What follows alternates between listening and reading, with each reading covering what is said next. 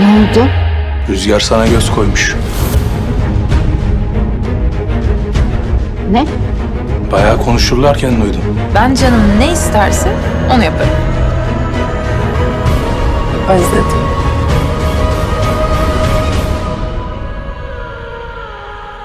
Ne işin var senin burada?